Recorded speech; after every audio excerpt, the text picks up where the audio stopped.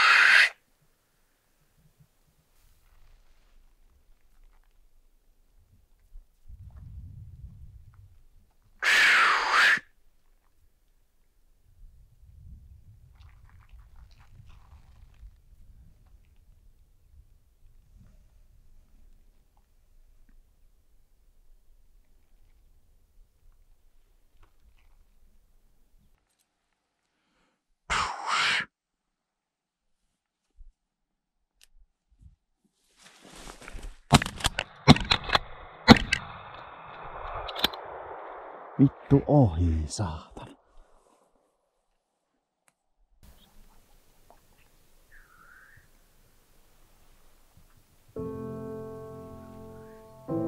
Teerisuo ei tuntunut tuottavan tulosta ja oli aika vaihtaa suunnitelma.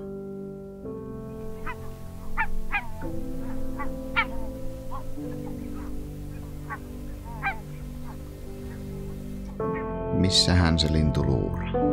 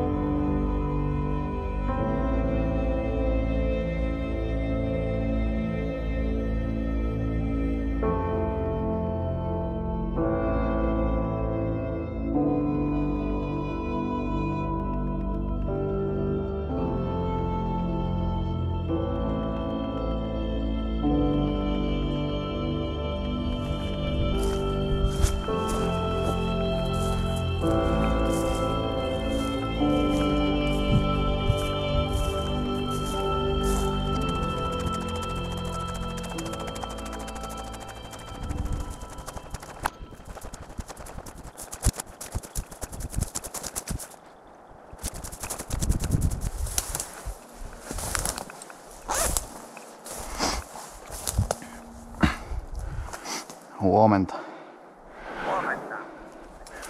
Tässähän tämä me täällä kävelisi. Niin, lähen kahteli, jos löytäis lintua. Vähän kehnokeli. No, hyvä. No, selvä. No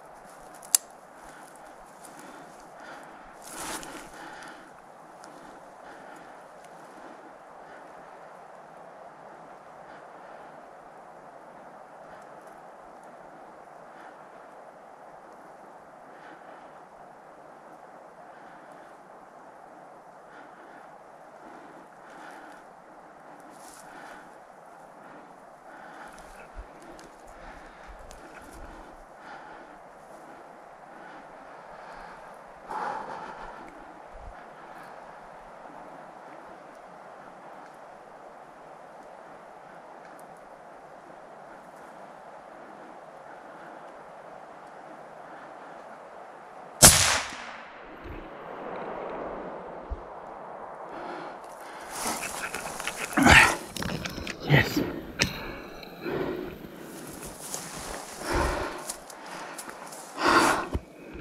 Oh. Oh. Oh. Vittu yes. Ai saakeli.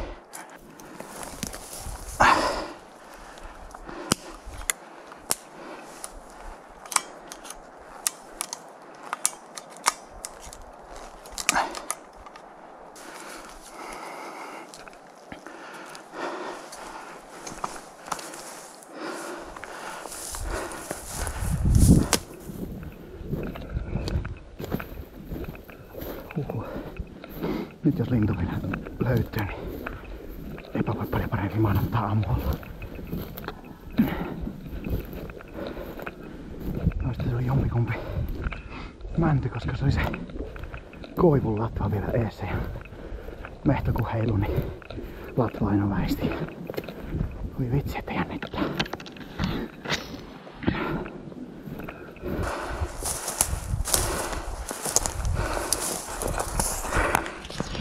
Yes. Kahtokkaa. Elämäni ensimmäinen kiväärimeito ikinä.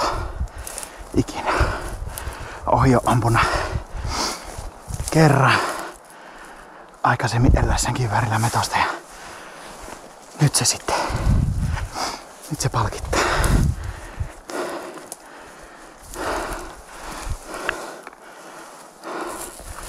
Ai herra Jumala, mikä meitä. Aivan luoja iso.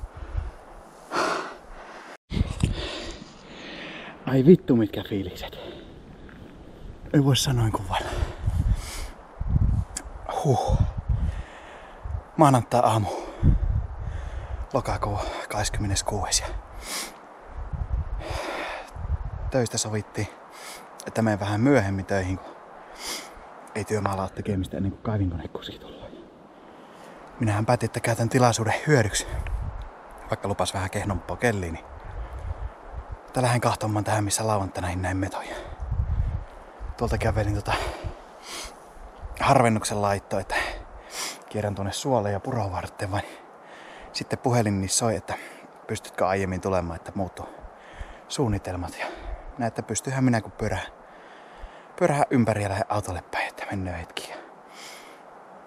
Lähin kävelemään ja sitten ajattelin, että no anna vielä tässä taimikossa, tai taimikossa kun nuoressa metässä kokkelen pyytäpillit ennen kuin lähden, kun ei niin kiire ole.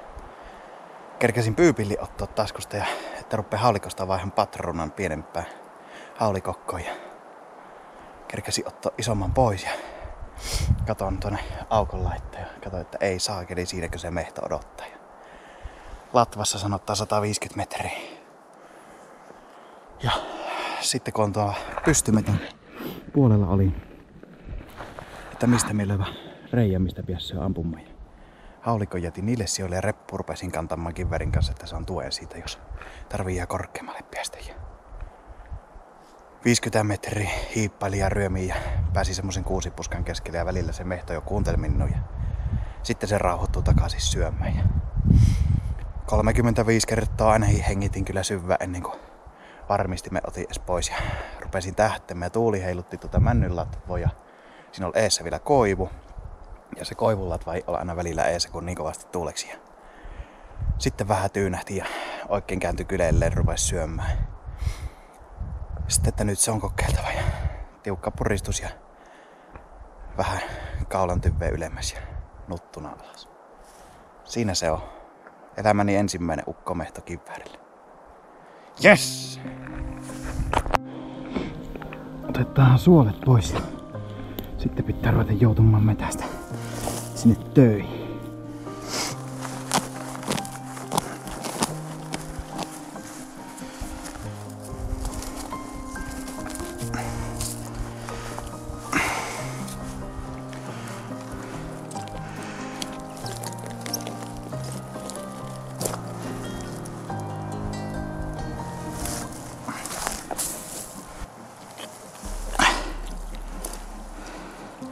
Jumalaton sydän. On tänä ossut tuosta yläpuolelta, kun vähän reven. Sepä nähdään se osuma sitten, kunhan tämä nylettä.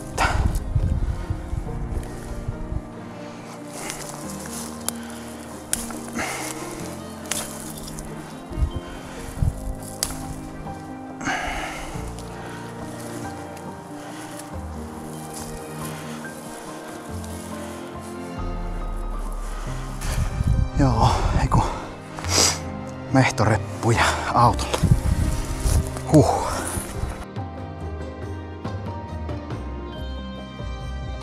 Metso painoi suolistettuna vajaa 3,5 kiloa. Ja paukkuna toimi Norman 9,7 grammaa.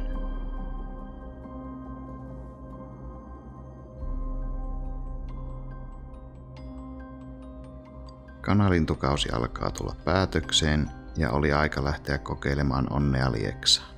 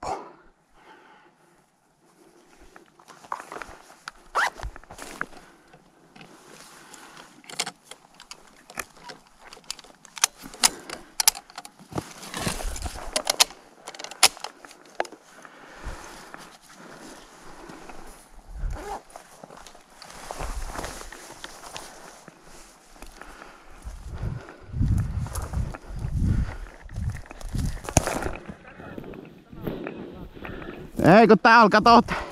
Se minkä laitoin sen kuvaa. Niin tää alkaa tohon puolitoista metriä alempana latvasta. Pitäis kyllä olla tuossa.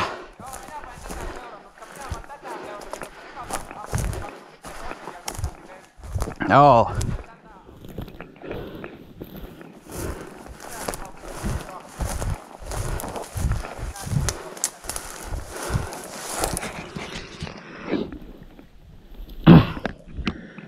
Se täällä, kato. Uhu. Tällainen aamu Lieksassa. Tultiin taas tänne Lieksan viekkiin. Mehtälinnon pyntti. On viimeinen viikonloppu nyt ennen kuin loppuu kanalinnustus. Viime vuonna käyttiin samaa hommaa, mutta se oli joulukuussa ja nyt eletään marraskuuta, kun loppuu kuukkauden aikaisemmin tämä jahti. Tultiin taas tänne ja viime vuonna tiellä oli 40 senttiä Paattiaralla lunta, kun oltiin ja tarvottiin tuolla pitkin maita ja mantereita ja ei olekin nähty mitään järkevää, että pari teertä ja näin pois päin. Ja nyt sitten vähän eri suunnitelmalla ja jaettiin porukka ussempaa palasseen ja Jyrin kanssa sitten tuosta lähetti mehtäautotien piestä kävelemään koneurriin myöten ja näitä aukonlaitoja. Ja oltaisiko keretty, mitähän minä sanoisin, 400-500 metriä kävelee ja Jyri laittaa että eka lintu näkyy puussa. Ja minä olin tuolla harvennuksen puolella ja minä sanoa, että minä menen tuonne kauemmas aukon laittaa sitten odottamaan, että Jyri kokeillaan kiväärillä, että jos tullut sitten kopiksi mulle, niin pääsen haulikolla vielä yrittämään. Ja niinhän minä lähdin tuosta käveli koneurroa myöten ja kahtelin kumminkin tänne aukon suuntaan samalla ja sittenhän mulla pisti silmältä musta, musta täppä on ihan tuossa lähellä ja Jyrille sitten laitoin kuvan siitä, että onko sama lintu ja se, että, että mikä lintu se on ja minä nopeasti sanoin, että ukkoteeria. Sitten, että hän näkee metoja. Sitten minä katsoin uudestaan sitten totesin, että no ei vittu, mehtohan se onkin. Siinäpä sitten vähän sottaili ja katsoin etäisyysmittarilla 148. Ja Jyrille kysyi, että kokeilenko minä, että mulla on aika namupaikka tästä. Jyri Tuumalle laittoi kartasta kuva, että hänellä on pitempi matka, että kokeile vaan. Ja Nämä kahdeksan metriä hiippailin tuosta vähän paremmalle mättäälle ja 140 näytti sitten tasan etäisyysmittari tälle. Ja pitkä sykettä tassailin kun ristikko heilu linnun välillä koko ajan. Sitten laitoin jo vähän pipodia paremmin ja sen jälkeen sai asennon hyvästi ja tussaati ampuu. Men varmasti aivan ihan just alapuolelta. Ja mehto hirveästi kahtella ja kääntyi alaspäin.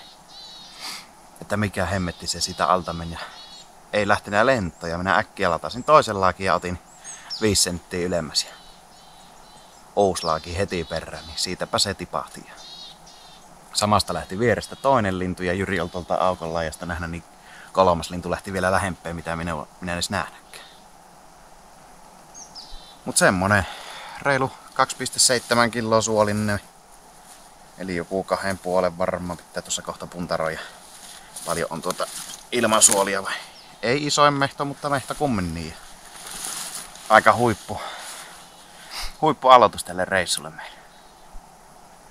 Jyri nyt lähti jatkamaan tonne kankkaita myöten eteenpäin ehtimään niitä kahta muuta ja minä jäin tähän ja käydä autolle viemässä tuo lintu, niin ei repussa sitten tuo rohan kuleeksi tuolla ja lähden pyytä kokeile vielä tuohon. Mutta tämmönen. Aivan huippu.